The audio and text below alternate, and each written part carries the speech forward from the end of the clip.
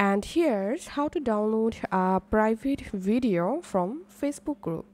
So currently I'm in a Facebook group and here we can see a video.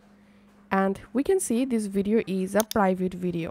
Now to download this private video on your computer all you have to need copy this video link.